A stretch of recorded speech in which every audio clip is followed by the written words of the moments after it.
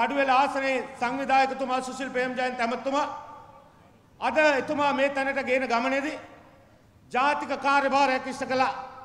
අද අපේ ජනාධිපතිතුමනි ඔබතුමාගේ පරාජය තුල ඔබතුමාත් අපිත් ලොකු පාඩම් ඉගෙන ගත්තා. ඒ වගේම යම් සාධනීය තත්ත්වයන් එකතු කරගත්තා. අද මේ වේදිකාවේ සුසිල් ඇමතුමා මම විමල් ඇමතුමා තුන තුන් දෙනාම සමගි.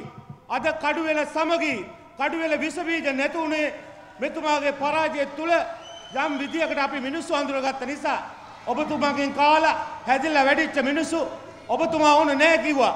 හැබැයි සුසිල් ප්‍රේමයන්ත ඇමතුමා නිවැරදි නායකත්වයක් දීලා අද එකමුතුව සමගියෙන් අද අපි මේ ගමන ආරම්භ කරලා තියෙනවා.